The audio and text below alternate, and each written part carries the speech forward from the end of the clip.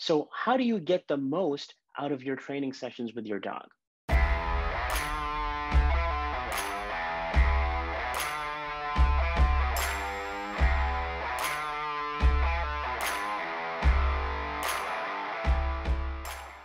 Hi, everyone. Welcome to today's episode of Dog Sense. Now, if you've ever watched a dog training tutorial or tried to teach your dog something complicated, you'll know that there are usually multiple steps involved. It's not always a linear process. It can look different for different dogs and ultimately can seem a little bit overwhelming or confusing. So I'd like to talk to you today about how can you make your dog training sessions a lot more effective. First of all, there are a few reasons why it's important to think about how you are organizing the time that you are spending training your dog. The first is that we want to be able to maximize the efficiency of learning. You want to make sure that your dog is learning as, as best as they possibly can. For most people, we also have a limited amount of time to spend on training our dogs. For, for me, sometimes that might be as little as 10 to 20 minutes a day. And so I want to make sure that I'm getting the most out of the time that I'm spending working with my dog.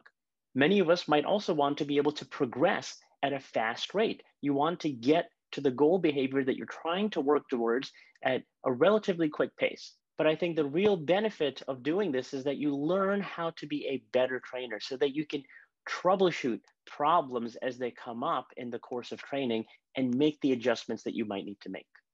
So the first tip here is to organize your training session into short sets. A set can be anywhere from one to two minutes, and you will decide before you begin the set exactly what it is that you're going to be working on. What is the behavior that you're expecting your dog to do? How will you cue them to do it? How will you deliver the reinforcement? And so this means that you're organizing the time that you're spending working with your dog ahead of time. In any given session, you might do from two to four or five different sets. It depends, of course, on the experience and level of your dog and, and how long you've been working with them.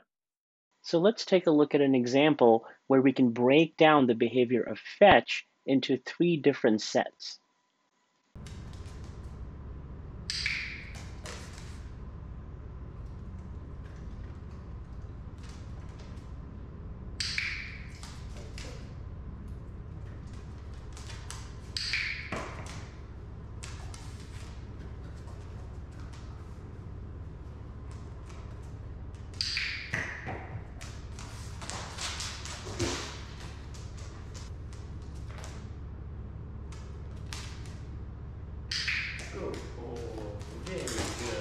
Second tip is to make sure that you're walking through mentally exactly what you'll be doing before you get the dog involved. So what I typically do is when I arrive into the place that I'm going to be working with my dog, I put my dog in a downstay and I mentally trace exactly how I'm going to get the dog in the place that I want them to be in and how am I going to cue them to do the behavior or the task that we're working on. And I do that by myself without first bringing the dog into the picture.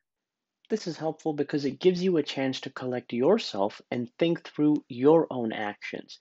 Our behavior is just as important as the dog's. So if we are fumbling and making mistakes, that will impact how smooth the training session is. And doing a dry run might also help your dog do better because it creates a routine that is familiar and predictable.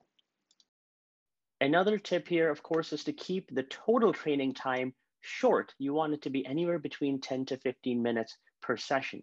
Now, of course, you can do multiple sessions over the course of the day if you've got the time to do that. But the idea is that if you're working in these short bursts of training, you'll find that your dog is able to consolidate what they're learning far more quickly than if you were to have a 30 or 40 minute training session once a day. In the long run, you're going to make much more progress working in short periods of time.